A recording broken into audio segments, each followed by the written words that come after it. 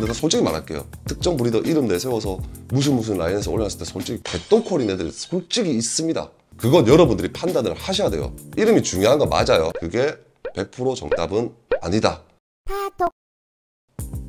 네, 안녕하세요. 김군입니다. 자, 오늘은 구독자분들의 파충류에 대한 궁금증을 풀어드리는 시간을 갖다가 준비했는데 질문을 모집을 했거든요. 저희 알바 선생님께 질문을 선정을 해달라고 했습니다. 혹시 질문 다 고르셨어요, 지금? 지금 몇개 간추려서 정리는 해놨거든요. 기준 같은 거 혹시 정하셨어요? 뭐? 근데 일반인들이 더 궁금해하고 파충류를 조금 접하신 분들도 조금 궁금해할 만한 거. 심도를 좀 여러 가지를 조절을 하셨네. 네네 좀 조절했어요. 강약 강약. 강약 강약. 오케이 오케이 알겠어요. 일단 한번 볼게요. 예. 자, 첫 번째 질문부터 한번 시작해 보겠습니다. 승원님이 댓글 달아주셨는데요. 크레를 입문한 지 세 달 된 고등학생 입문자입니다.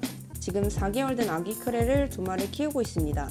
성별이 결정되었을 때 언제부터 교배를 시킬 수 있는지 그리고 개체마다 차이가 있겠지만 한 마리당 알을 몇 개 정도 낳을 수 있는지 두 번째 질문은 집에서 소규모로 브리딩하여 이쁜 개체들이 태어나 분양을 보내고 싶은데 어떤 방법으로 사람들에게 알리고 어떻게 분양을 시킬 수 있나요? 학생들도 가능한가요? 아, 이렇게 남겨주셨어요. 질문이 겁나 기네요.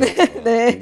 질문이 총 두 가지라 가지고 좀 나눠서 답변을 드릴 건데 첫 번째는 성성수까지 오는 기간을 많이 여쭤보셨는데 지금 온라인상에 나와 있는 건 항상 18개월이 나와 있거든요. 이게 사람도 마찬가지지만 우리가 초등학생이 좀 빨리 큰 학생도 있고 좀 늦게 성성수기 오는 친구들도 있거든요. 그래서 어떤 친구들은 2년 반 정도 돼서 첫 산란하는 친구들도 있고 진짜 빠른 친구들은 12개월 만에 이렇게 산란하는 친구들이 있어요. 그래서 뭐가 정답이라고는 말씀은 못 드리겠지만 평균 18개월? 그 선아 씨도 보면 어렸을 때 키 다 커놓고 지금 안 자라잖아요 보면. 그걸 왜 갑자기 얘기해요? 어쨌든 이런 식으로 이게, 이게 사람마다 성장 속도가 다 다르듯이 파충류도 살아있는 생물이다 보니까 그리고 또 산란 개수도 마찬가지예요 이게. 호르몬 분비가 좀 많을 때도 있고 작을 때도 있고 그렇잖아요. 단순하게 봤을 때 평균적으로 봤을 때는 한 달에 두 개씩 다섯 번씩 낳는데 진짜 최대로 많이 나왔을 때는 제가 본 거는 12차 산란까지 봤어요. 정답은 없어요. 근데 평균치는 18개월에 1년에 10개라고 보 시면 됩니다 네. 두 번째 질문이 집에서 소규모로 브리딩하여 이쁜 개체들이 태어나서 분양을 보내고 싶은데 음. 이거를 어떻게 사람들에게 알리고 어떻게 분양을 시킬 수 있는지 학생도 가능한지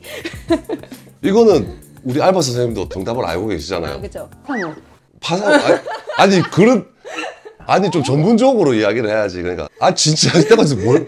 그러니까 뭐 SNS를 통해 가지고 그런 커뮤니티에다가 분양글을 올려도 되는데 단 학생도 상관없어요. 이제 우리나라 사업자 등록법상 저 미성년자도 사업자 등록증을 낼 수가 있기 때문에 실제로 우리 구독자 중에 미성년자가 사업자를 내서 샵까지 차린 케이스도 있었고 홍보 수단 뭐 지금 저처럼 유튜브 하셔도 되고 아니면 인스타를 하셔도 되고 새로운 또 SNS가 또 뜰 수도 있으니까 이제 그런 걸 노려보셔도 되고 일단 미성년자라서 불가능한 건 없습니다. 다만 이제 뭐 혹시 닉네임이 남자 같았어요? 네네 남학생. 남... 그러면 이제 군대부터 갔다 나온다.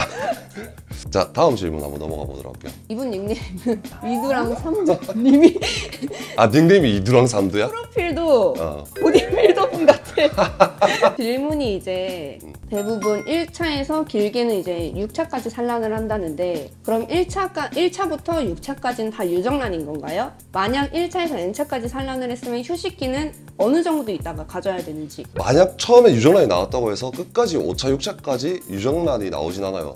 암컷들이 수컷들 정자를 보관하고 있다가 이렇게 수정을 시켜가지고 이제 배란을 축제시키는데 그 과정에서 보관하고 있는 수컷 정자가 떨어져가지고 무정란으로 바뀌는 케이스가 있습니다. 그렇게 되면 다시 수컷을 붙여주겠죠 아마. 휴식기 같은 경우에는 FM대로 하면 야생 사이클이거든요. 그러니까 원래 모든 생물들은 겨울잠을 잤다가 봄에 이제 새끼들이 먹을 수 있는 먹이가 풍부해질 때 산란을 하는데 그게 대부분 봄에서 가을 사이에 이루어져 요. 그게 딱 한 5개월에서 6개월이겠죠. 그거 끝나고 나면 겨울 동안은 원래 쉬게 해주는 게 FM이에요. 근데 이게 실내 사육이다 보니까 계속 온도가 높아져 있는 상황이잖아. 그러다 보니까 이게 중간에서 이제 또 배란이 오고 그래서 겨울철에는 살짝 온도를 떨어뜨려 주시는 것도 나쁘진 않습니다. 우리가 환경을 맞춰줘야 됩니다. 다음 질문은 crested gecko가 알비노가 아직까지는 없는 것 같은데 그 이유는 무엇인가요? 아 이게 진짜 crested gecko 알비노 노리시는 분들 진짜 많은 걸로 알고 있거든. 알비노가 야생에서 태어날 확률이 몇 퍼센트 정도 될 것 같아요? 한 만분의 1? 만분의 1, 딱 10배거든요. 10만 분의 1 확률로 알비노가 나옵니다. 아직 안 나왔으니까 혹시 hatching을 하신다 그러면 이제 10만 분의 1의 희망을 걸고 로또도 800만 분의 1인데 어, 가능합니다 여러분. 약간 약간 어디 사이비 교주 같았어 아니 사이비 교수가 이거 아니 현실적인 거잖아 현실적인 거 욕먹는 거 아닌가 모르겠네. 다음 질문은 크레일 근치 해칭교배에 대해서 궁금. 아 질문 난이도가 왜 이렇게 빡센 거밖에 없어? 국내에서는 적은 이제 유, 유전자 플로인의 기형 그 외에 문제 때문에 안 하는 것으로 알고 있는데 이것이 해외에서도 동일한지 동일하다면 국내와 같은 이유에서인지 동일하지 않다면 그 이유가 무엇인지 궁금하시대요. 일단은 본인이 정답을 알고 계시거든요. 진교배는 당연히 기형 때문에 안 하는 게 맞고요. 그다음에 우리나라에서 뭐 특별하게 많이 하고 있다 이런 것도 아니고 근친에 대한 질병은 단순해요. 이제 질병이 유전이 되는 거예요. 그게 여러 번 쌓이다 보니까 이제 크게 발병이 되는 거고 그게 F3 세대라고 하는데 이제 세 번 이상 근친을 했을 때 그 질병에 대한 징후 같은 게 크게 나타난다고 하거든요. 우리나라도 똑같은 이유 때문에 피하는 거고 해외도 똑같은 이유 때문에 피하는 겁니다. 예. 그렇게 알고 계시면 될 것 같아요. 다음 질문 넘어가 보도록 하겠습니다. 맞다, 우리 8월 달에 있는 행사 홍보해야 되지 않아요? 아 맞다 그 맞다? 아니. 제가 Reptile Fair PD지만 특별한 행사가 열린다고 해서 이제 그걸 제가 좀 홍보를 해야 돼요. 그 서포터로 이제 제가 들어가 있기 때문에 어떤 행사냐면 8월 17, 18일이었어요. 17일 18일. 어, 8월 17일, 18일. 양서파충류 협회에서 주관하는 국제 양서파충류 박람회 양재 AT 센터에서 열립니다. 예. 지금 이 행사가 좀 특별한 게 우리나라에서 최초로 양서파충류 협회에서 주관을 하는 행사고 그리고 국제적인 breeder들이 많이 구경을 온대요. 그래서 우리나라 파충류 시장을 많이 알릴 수 있는 기회고 그리고 특별한 세미나도 많다고 하니까 시간 내서 한번 놀러 와보시면 되게 좋을 것 같아요. 예, 많이들 놀러 오세요. 저도 가요? 컵팔러 와야지 맞다 사실 우리 알바 선생님이 촬영을 도와주시는 대가로 이제 따로 돈을 받거나 그러진 않는데 이게 사실 여기 이렇게 보시면 좀 특별한 컵이 있거든요 이거 우리 알바 선생님이 디자인한 건데 이 뭐라고 부른다고 했죠 이거? crested gecko morph컵. 새까맣게 칠해놓으면 axanthic이야? 그럼 하얗게 만들어놓으면 Lilly야? 맞아요. 날로 먹네? 아니 기다려봐. 아니 frappuccino가 더 이쁘다고. 됐어요 광고 너무 오래 안 먹군요 프레에게 미럼 섭취를 이제 찬성 vs 반대 이걸로 토론했으면 좋겠대요. 토론 네. 지금 내 혼자서 아 우리 아니 우리 둘이서? 아니, 아니, 남 빼고 혼자. 아, 어, 나 혼자서 토론하라고? 그 미친놈 닉네임 뭐야? 아, 야, 야, 죄송해요. 제 개인적인 생각만 말씀드릴게요. 자, 미럼은 껍질이 두껍잖아요. 그래서 소화하기 어려운 곤충 중에 하나인데, 이제 클의 생태적인 특성을 잘 이해를 하면 되거든요. 옛날에는 냉혈동물이라고 불렸었고, 요즘에는 변온동물이라고 불리잖아요. 변온동물 특징이 뭐예요? 잘 안 움직여요. 변온동물의 특징은 말 그대로 주변 온도에 따라서 신진대사가 변화가 생기거든요. 그러니까 온도가 높으면 높을수록 예를 들어서 대사량이 올라간다. 대사량이 올라간다는 건 운동량, 소화 능력 모든 것들이 다 올라간다는 거죠. crested gecko 사육 온도가 몇 도입니까? 네. 22도에서 22도에서 26도. 그래서 crested gecko를 저온종이라고 부르는 거예요. 그러니까 고온 종에 대비해서 소화 능력이 떨어지는 종이에요. 그렇기 때문에 아기 때부터 큰 mealworm을 먹이면 소화를 잘 못할 확률이 높아져요.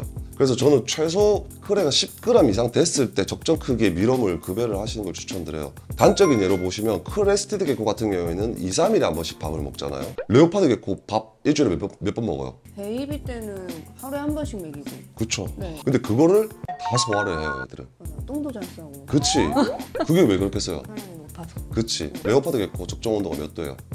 30 그치. 와, 초등학생 가르치는 것도 힘들다. 이 정도면 답변이 되셨을 거라 생각해요. 그 다음 질문. 유명 breeder에게 분양받아 키워서 시간이 지나고 hatching한 아이들을 분양을 하는데 유명 breeder baby를 받아 성체까지 키워 hatching하여 유명 breeder 개체 baby라고 동급으로 분양을 하는 이유 누구라인 baby입니다 하며 거품을 과시하는 이유가 뭘까요? 일반인들 분양을 하면 그 정도는 아닐 건데 이런 부분에서 김군님과 일반인과 유명 breeder의 차이를 설명해 주셨으면 합니다. 질문이 겁나긴데, 자, 제가 들어봤을 때는 유명 breeder 개체는 왜 비싸고 어, 사람들은. 왜 그걸 내세워서 분양을 하느냐? 자, 단순하게 설명을 드릴게요. 유명 breeder 개체라서 비싼 게 아니고, breeder가 유명해진 이유가 뭘까? 그거를 생각을 해보시면 됩니다, 단순하게. 특정 breeder는 axanthic이 되게 quality가 좋을 거고, 특정 breeder는 Lilly가 quality가 좋을 거고, 예를 들어서 뭐, 티그리스 같은 경우에는 tricolor extreme harlequin이라는 morph가 되게 quality가 좋을 거고. 자 그런 식으로 breeder가 유명해진 데는 quality가 좋은 애들이 따라왔기 때문이에요. 자 그럼 이제 여기서 답은 나왔어요. 일반인들이 왜 breeder를 이름을 앞세워서 분양을 하느냐 그 이름이 곧 개체의 quality이기 때문이죠. 자 근데 여기서 한 가지 문제점이 발생을 합니다. 유명한 breeder한테 분양을 받았는데 안 이쁜 개체가 있을 수도 있어요. 그건 안 이쁜 개체가 맞아요. 야 그러면 무슨 말이야. breeder를 갖다가 믿으란 말이야. 뭐 믿지 말란 말이야. 여러분들이 quality 보시는 방법을 공부를 하셔야 돼요. 이 개체를 봤을 때 이름만 보는 게 아니고 이 사람 이름에 걸맞게 얘는 뭐 Lilly White 형질이 좋고 tricolor extreme harlequin 형질이 좋고 axanthic 형질이 좋은 거구나 구분을 하실 줄 알아야 되고. 자 근데 자 봅시다 무슨 무슨 라인 무슨 무슨 라인 족보 다 좋아요. 정우성이 결혼했다고 해서 무조건 잘생긴 애가 나오나요? 아니야. 그렇죠. 아니죠. 그러니까 말 그대로 형제 누대의